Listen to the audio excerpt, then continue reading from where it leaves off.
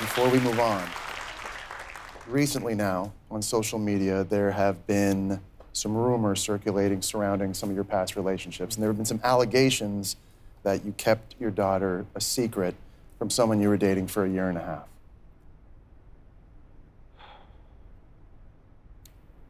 I went through a pretty traumatizing time when I uh, went through divorce, and essentially, the foundation that was built around my daughter was was pretty much crumbled.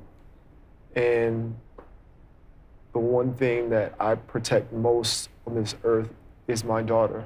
Like I would never bring her into a situation that I feel is dangerous, a situation that I feel is unstable. And so it just made me put a wall up protecting my daughter from the instability of my dating life. And for clarity, too, we're also talking about the fact that you were dating two women simultaneously. I would say I'm deeply sorry for the way that I acted. I should have been more communicative. I should have been more clear uh, in my intentions.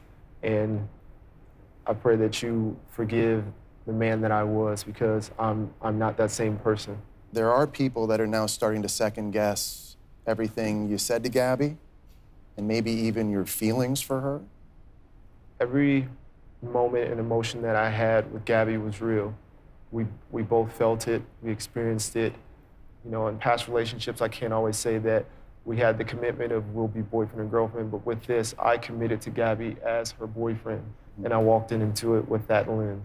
Jesse, I have one thing to say to Nate real quick. So yeah. sorry. Uh, I think truly great men make other men better. And Nate, you made me better just talking to you, being around you. Uh, you're my bro. All right, so I got you back.